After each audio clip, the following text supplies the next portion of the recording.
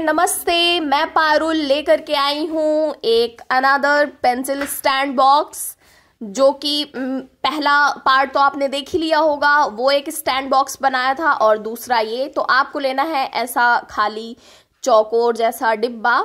और अगर आपके पास ऐसा कोई स्टैचू है तो आप वो यूज़ कर सकते हैं। ये मेरी फ्रेंड ने मुझे गिफ्ट किया था और ये काफ़ी मेरे दिल के करीब है और मेरी वो दोस्त अब इस दुनिया में है नहीं।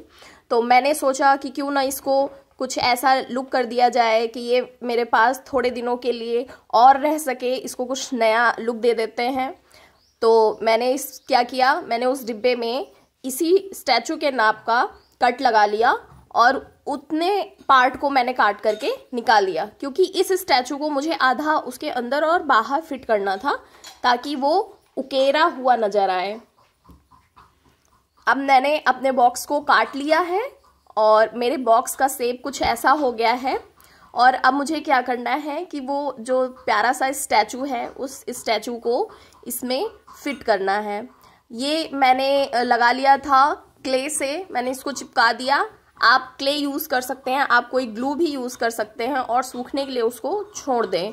सूखने के बाद ये बहुत ही अच्छा हो जाएगा, बिल्कुल सिक्योर हो जाता है और बिल्कुल भी हिलता नहीं है और बहुत प्यारा लगता है। मैंने इस पूरे के पूरे स्टैचू बॉ स्टैचू को और बॉक्स को ब्लैक कलर से कलर कर दिया था। क्योंकि मैं सोच रही थी, थोड़ा एथेंटिक लगे, थोड़ा ऐसा पुराना पुराना जैसे नहीं होता है मेटेलिक जैसा लुक आए। तो इसलिए मैंने इसको पूरा का पूरा ब्लैक कलर से इसको पेस्ट कर दिया। मैंने एक्रेलिक कलर ही यूज़ किए थे। और फिर ये देखिए, बिल्कुल ये ऐसा आया था। आप इसको ऐसा भी छोड़ सकते हैं। बहुत प्यारा लग रहा था ये शाइनियर कलर आ रहा था। और अगर आप चाहें तो इस पर स्पार्कल कलर्स भी कुछ यूज़ कर सकते हैं। मैंने इसको स्पार्कल कलर कर दिया था थोड़ा सा और प्यारा बनाने के लिए। लेकिन ये मुझे ऐसे भी बहुत पसंद आ रहा था। फिर मैंने कुछ स्पार्कल कलर्स किए तो इसका लुक कुछ ऐसा आया। अगर आपको मेरी ये वीडियो पसंद आई हो तो मेरे वीडियो को लाइक करें शेयर करें और सब्सक्राइब करना बिल्कुल ना भूलें।